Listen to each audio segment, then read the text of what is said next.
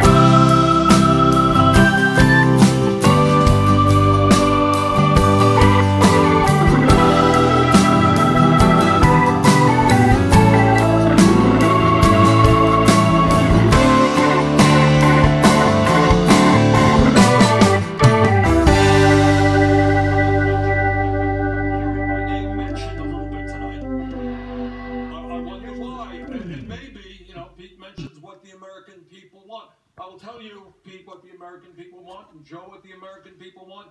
They don't want candidates to be running to build a vibrant, competitive private sector. But we all know unchecked capitalism has failed.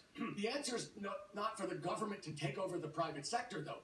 The answer is for us to break the corporate stranglehold on our government and have the government work for the people again. President Biden. to- well, let me just finish because we need to have an alternative to Donald Trump. I'm talking about doubling the minimum wage, cutting taxes by 10% for everybody who makes less than $250,000, and creating over 4.5 million good paying union jobs. Donald Trump stinks. He's All right. incompetent as a steward of the Ameri- American economy. We have to show that we can create a Thank you. growing, prosperous Thank you, economy Mr. that Steyer. works Yeah. for American working people. Mr. Steyer, thank you. Your time's up. Vice President Biden. You know, we talk about progressive. Let's talk about being progressive. Walking distance